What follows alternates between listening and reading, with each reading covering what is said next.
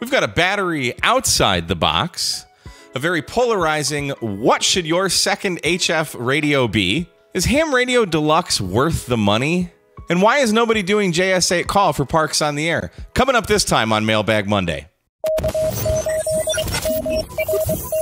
What's happening, everyone? Thanks for tuning in to Ham Radio Tube. My name is Mike K8MRD. If you have an amateur radio related question for me, shoot me an email, k8MRD at iCloud.com. Let's dive right in. We got, I think this guy's trying to play tricks with us. He's got a battery box outside the box. He says, Mike, you inspired me to make a battery outside the box. LOL. This runs my mobile in the truck. Your channel is so entertaining and informative. Well, I don't know about that. Uh, I just wanted to thank you. Still haven't been able to work your station, but I'm not giving up to get you in the log. If you're ever wondering when you're staring in the camera, does anyone care? The answer is yes. Keep up the great work. Your friend, the Happy Ham. And this is what he sent me. This, this guy's just too creative. Look at this a battery outside the box. He built himself a battery box just by buying a PO4 power battery from Gigaparts, which I actually do have a 5% off discount code. I'll leave a link for it. Uh, and uh, congratulations, you managed to successfully put two red wires on your battery.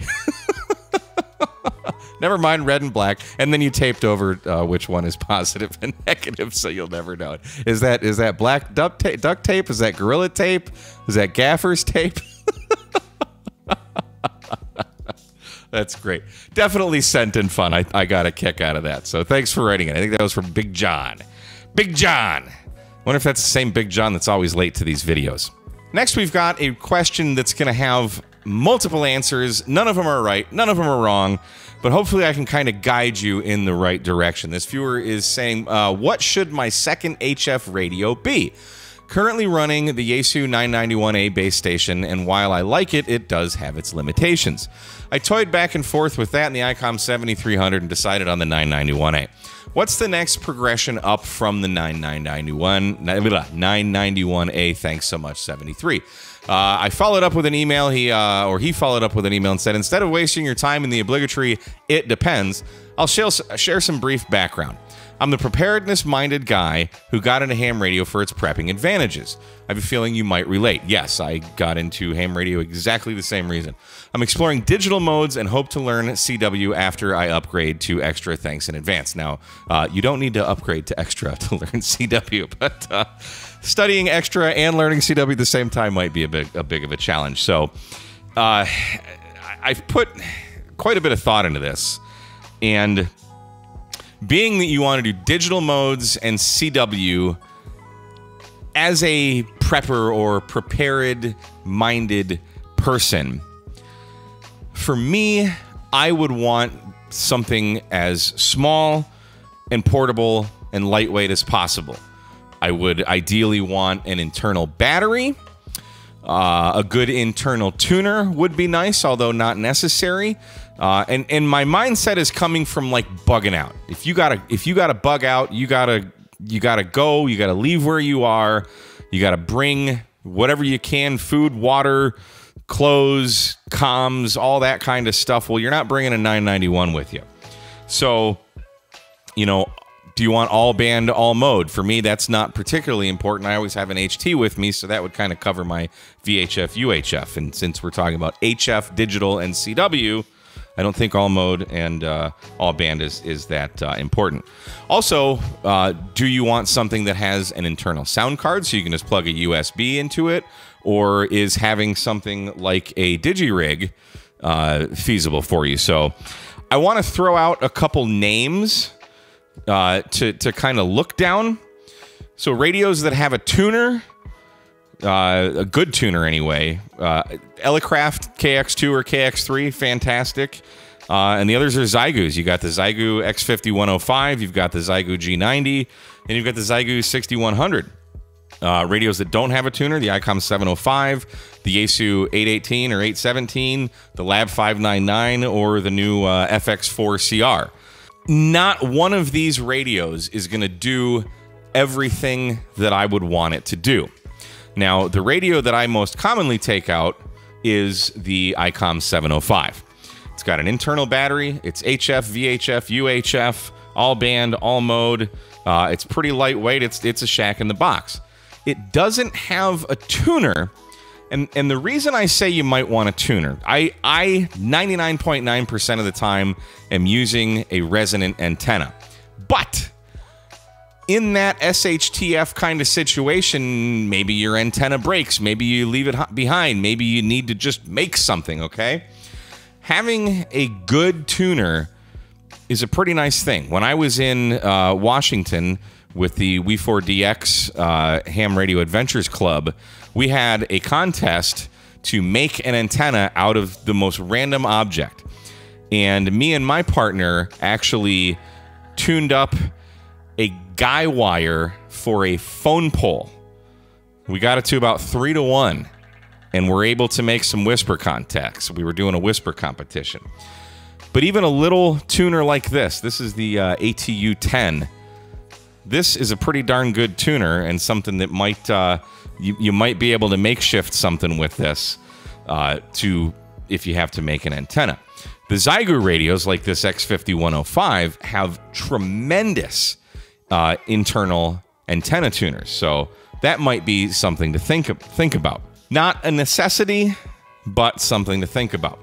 Now for digital, you want to think, okay, do I want a radio that's going to be very easy to set up for digital, uh, meaning it has an internal sound card like the ICOM 705 or the Xiegu 6100 has an internal sound card. You just plug the USB in, plug it into your computer, and away you go or um, you know something like the Yaesu 818 doesn't have an internal tuner, doesn't have an internal sound card. Uh, it does have an internal battery, which actually sucks. So you'll want to get an aftermarket lithium battery like this Windcamp that I have in here. But it's very easy to get on digital. Again, with the DigiRig. I mean, look at how small this thing is. There's, there's your setup right there. And all of that fits into this tiny little bag. I can put the 818 in here. I got the DigiRig. I've got coax. I put this tuner in there. I've got a CW key. I've got my SotaBeams Carbon 6 mast. There's a uh, uh, K6ARK uh, 9 to 1 random wire antenna in here. Like everything I need is in there. So you really need to think what are your particular expectations. What do you want to get out of the radio? Power isn't a big deal. Uh, the the 705 will do 10 watts with an external battery. All these others are like 5 watts. There is the G90 behind me. I actually built uh, built that into a Go box, which is also a solar generator, and I can just grab that box. I didn't put any holes in it, so it's watertight. Uh, I can charge my cell phone because I got USB. I've got battery monitors in there. I've got a, a solar charge controller, so I can recharge it with a solar panel out in the field. 20 watts, internal tuner, amazing radio. Um, but then you need to think, you know, filters. There's no, there's no notch filter. There's no noise reduction on that radio. So there's a lot of things to think about and I know you don't want an it depends answer, but it literally depends. So uh, take those radios that I that I listed off and make a list. What are your expectations? Not one of these is going to fit all of your needs. There's going to be a compromise. So for me, in that scenario with this question, I would say the 705 and an external tuner. That's my answer.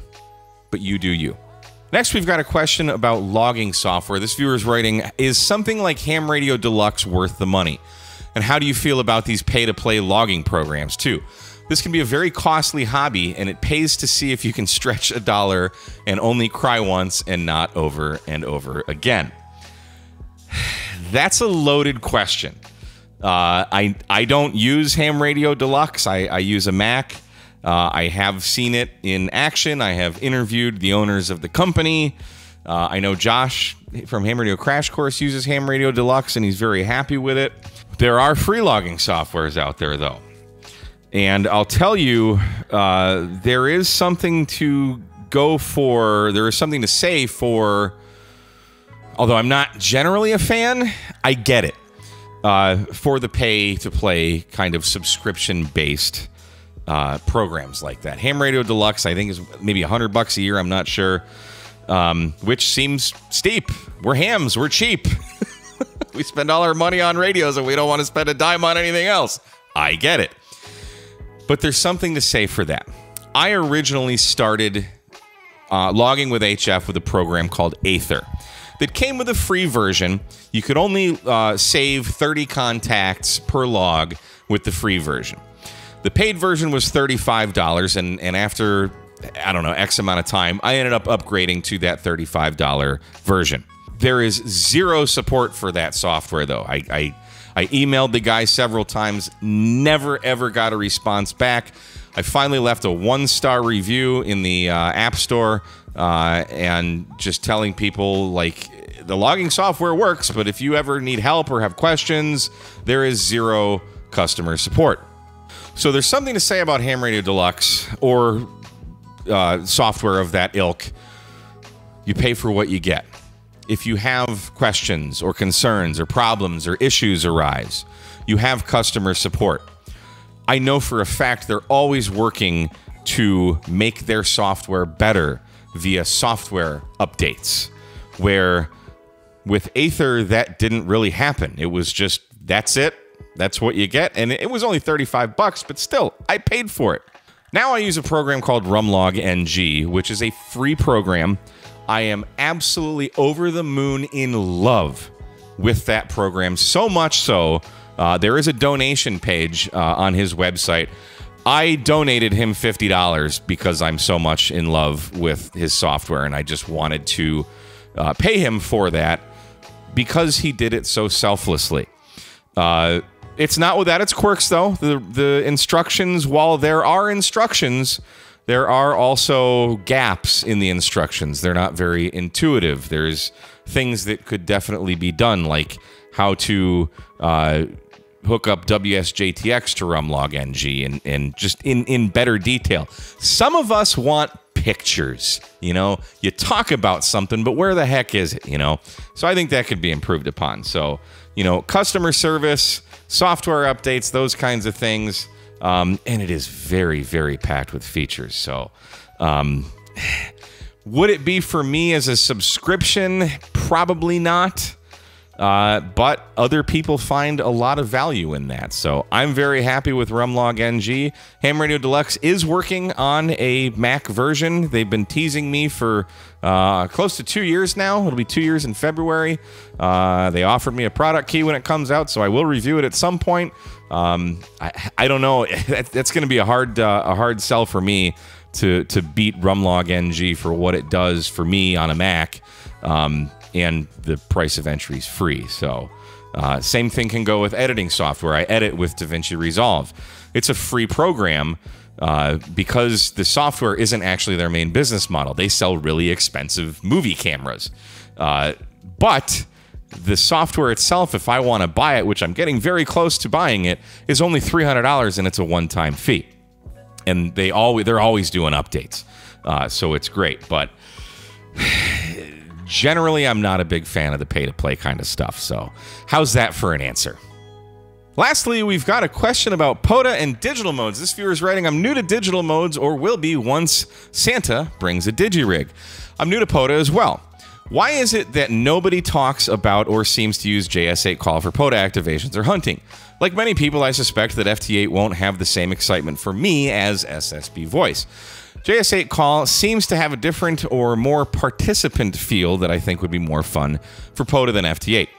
That said, I think I must be missing something because I have not seen JS8 Call and POTA spoken of together except for self spotting over RF. Please share your infinite immature wisdom. that's that's that's a tall order there, buddy. Uh, with me and your ham radio tube viewers, if answering this question is your will. Well, it is my will. JS8 call is something that I think had the best intentions when it was uh, uh, made, but it's been pretty much abandoned by the developer since 2020. And it it started off as some when FT8 first came out, a lot of people were like, "Wow, this is great." But wouldn't it be cool if we could actually have a keyboard to keyboard conversation? So the guy that developed JS8 Call built it off of the, the architecture of FT8.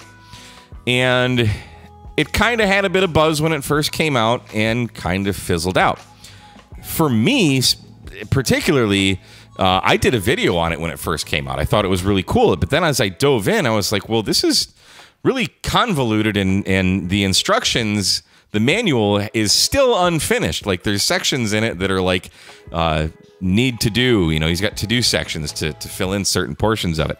It's not intuitive. You, you need to kind of already know how to use it to know how to use it. And uh, it's it's just not it's not very active. You don't hear a lot of people on it.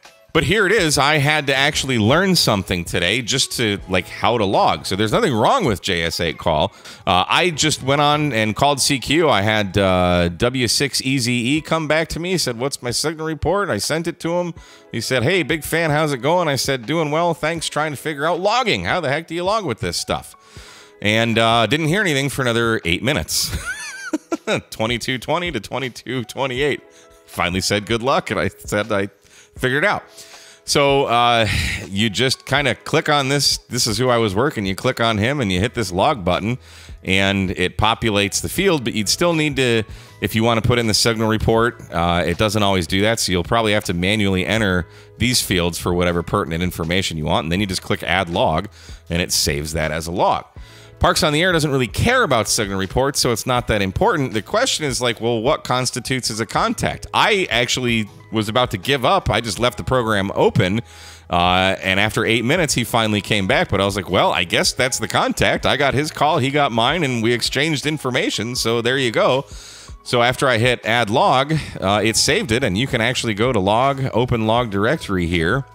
And uh, there's the JS8 call uh, underscore log.adi. And if you open that up, here it is. I mean, this has got the date, time, call sign. I gave, sent his signal report. I didn't ask for mine. And there's the, the frequency and the mode. So that's really all you need. But the, the, the reality of it is, is that there's just not a lot of people on here. Not to say don't let that dissuade you. Heck, go out there, get on JS8 call. Even if you only make one contact, well, you only need nine more. So get on phone or FT8 or CW or whatever the heck smoke signals you wanna you wanna do for your activation and make it happen. So, uh, yeah, the sad reality is it's just not that popular of a mode, unfortunately. So.